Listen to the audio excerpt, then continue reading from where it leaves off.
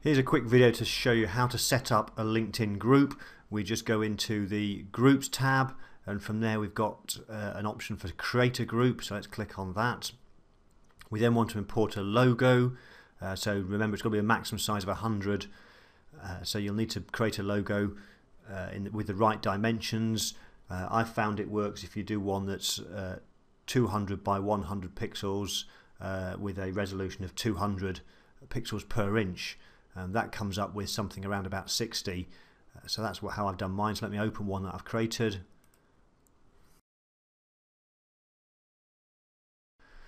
So here's one for uh, a channel called uh, a group called Caravan Enthusiasts and we just need to tick that to say that it's a, uh, an original image. Then we want a name so this one's going to be called Caravan Enthusiasts. Group type uh, I usually go for a networking group and then enter a description here of, of what the group's about. So this will uh, this will appear when people search for groups. So uh, we can always change this, but for now let's go with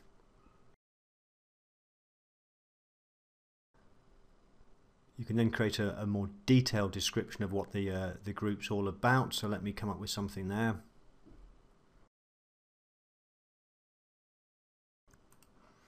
So I've entered there something for description. Website's optional, so I'll leave that for now.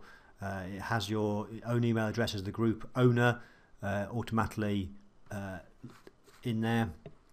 And then the access, you can either have auto join or request to join. Unless you want to get involved with management of groups, I would recommend it's uh, auto join. It just keeps life a lot simpler. Uh, that means, of course, anybody can join your group, but, but why not? You can use it for uh, marketing purposes. Uh, language can stay as English. Location, uh, we'll leave that uh, unticked. That's if you're only particularly looking for people in a certain area. Um, we'll leave Twitter announcement for unless you've got a Twitter account. If you've got a Twitter account, then of course tick that, and then fine, just check the uh, the agreement. And that's it. And then you can choose whether it's an open group or members only group. So unless you want to keep it closed and invite certain people, I would keep it an open group and let anybody join it. So create an open group. And that's the group setup. So you can now invite specific people you know within LinkedIn, um, but we don't have to do that now. We can do that at any point. So let's skip that step. Uh, and that's the group up and running.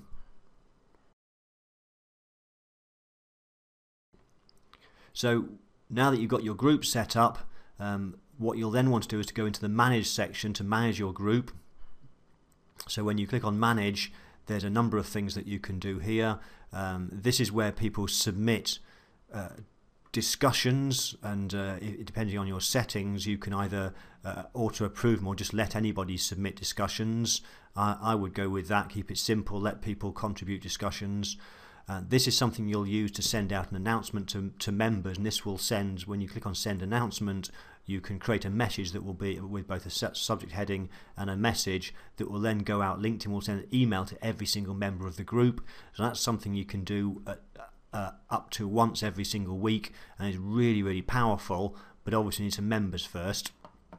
Um, the other thing that you really want to do that's important is go to the template section and create a welcome message. And you can use this to welcome anybody that joins the group. And if you have a website or a lead page, you can then direct people to that. So let me create a welcome message for this particular group. So if we click on welcome message, we just need a subject and a message. So let me create something. I'll just pause this while I create a, a message.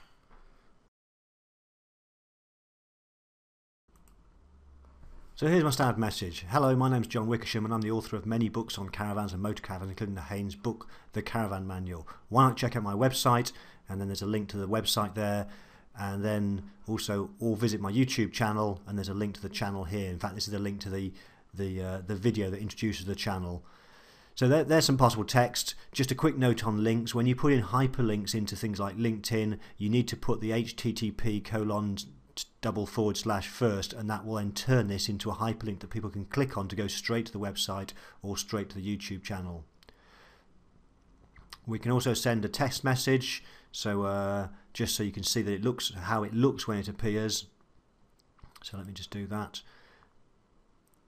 and uh, when we're ready just click on save changes now everybody who joins the group will then get that automatic welcome message come through from LinkedIn and be told about the website, LinkedIn page, and if you've got a lead page, you can promote that. We need to make sure we click auto send is on.